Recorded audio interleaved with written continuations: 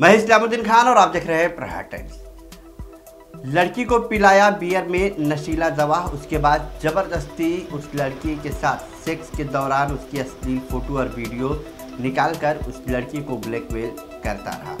कलवा police ने इस पूरे मामले में दीवा के रहने वाले आरोपी गणेश उर्फ़ जीतू अशोक सुरवसे को गिरफ़्तार किया है। दरअसल आपको बता दें कि कलवा की रहने वाली एक लड़की ने कलवा पुलिस स्टेशन में शिकायत दर्ज कराई थी कि उसके साथ एक कंपनी में काम करने वाला उसका साथी गणेश, उसकी दोस्ती हो गई थी, मगर एक दिन गणेश ने उसे अपने घर बुलाया और कोल्ड ड्रिंक में नशीला दवा मिलाकर उसे पिला दी और ज़बरदस्ती उसके साथ सेक्स किया और सेक्स के दौरान अश्लील फ़ोटो वीडियो भी बना लिया। और फ़ोटो वीडियो के आधार पर उसे लगातार ब्लैकमेल करता रहा और फ़ोटो वीडियो वायरल करने की धमकी भी देता रहा। मगर फिर लड़की की कुछ दिन बाद इंगेजमेंट हो गई और जिस लड़के के साथ लड़की की इंगेजमेंट हुई थी, उस लड़के को भी इस आरोपी ने फ़ोन पर इस अश्लील वीडियो और फ़ोटो के बारे में जानकारी दे दी, जिसके बाद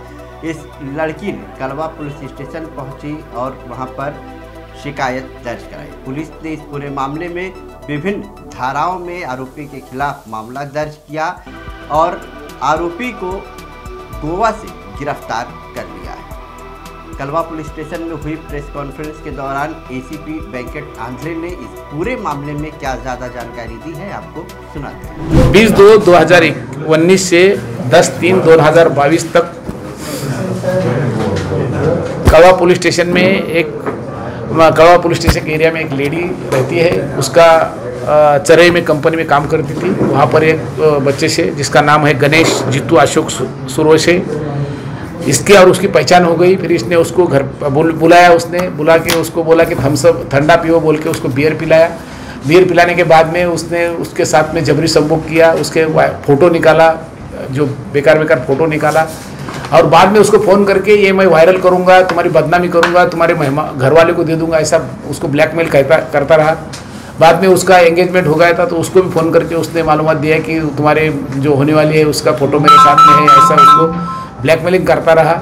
फिर उसने पुलिस स्टेशन में आके फिरियाद दी तो पुलिस स्टेशन में, अपने पुलिस स्टेशन में एक सौ ग्यारह अब्लिक दो हज़ार बाईस, तीन सौ छिहत्तर, तीन सौ पाँच, तीन सौ, पाँच सौ छः पाँच सौ सात। और माहिती तंत्रज्ञान अधिनियम सिक्सटी सिक्स, अ, और 66 का एफ़ आई आर रजिस्टर हो गई। आपके कड़वा के सीनियर पी आई आवाज़ साहब और क्राइम पी आई आजगावकर साहब और डीबी के पी एस आई बगदाने और उनका डीबी का स्टाफ। इन्होंने ये मोबाइल ट्रांस, मोबाइल हमेशा चेंज करता था, इसीलिए उसका ई e नंबर निकाल के उसकी मालूम निकाली और उसको गोवा से मडगांव स्टेशन से अरेस्ट किया है। सर, इसका कोई बैकग्राउंड है या फिर इसने, इसके पहले किसी महिला की छेड़ ऐसे निकाला? देखो, अभी तक तो उसने ऐसा टाइप का ऑफेंस किया कि इसके बारे में तो मालूम ली जाएगी, लेकिन ये व्यसनी है, बारहवीं तक पढ़ा है, बेरोजगार है, घूमता रहता है, और यही महिला को ब्लैकमेल उसने किया है।